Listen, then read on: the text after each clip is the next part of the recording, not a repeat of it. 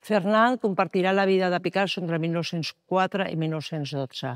però és important sobretot perquè és la companya i la model eh, en aquests anys que passen des de finals de l'època blava, passant per l'època rosa, per arribar al cubisme. Fernand és la model favorita, pràcticament la única dona eh, que és retratada per en aquests anys per Picasso. I la veiem eh, sobretot eh, quan venen aquí els viatges a Catalunya. La veiem sobretot l'any 1906, quan va a Gòsol,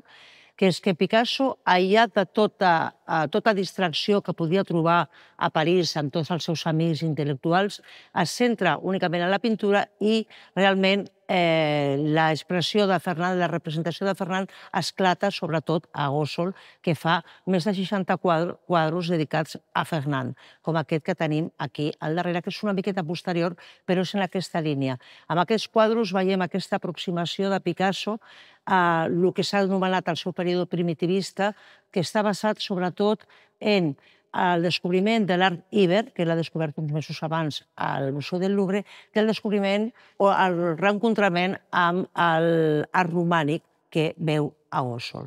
També és molt important el període d'Horta de Sant Joan, Horta d'Ebre, com deia Picasso, que també passa en Fernand de l'any 1909, a l'estiu de 1909, i la pròpia Fernand, de les seves memòries, ens diu que és allà on va començar al cubisme. Eh, a l'últim, les últimes hores les tenim dedicades únicament a Fernand, a Fernand autora,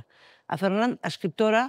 com he dit abans, és el que nosaltres volem reivindicar i podem exposar una sèrie de quaderns eh, manuscrits i també eh, fulls eh, meconografiats, en els quals recollim, eh, recullen poemes, petites narracions, petits contes que feia Fernand, però sobretot les seves memòries i els seus records de Picasso i els anys de Montmartre. També hi ha una sèrie de,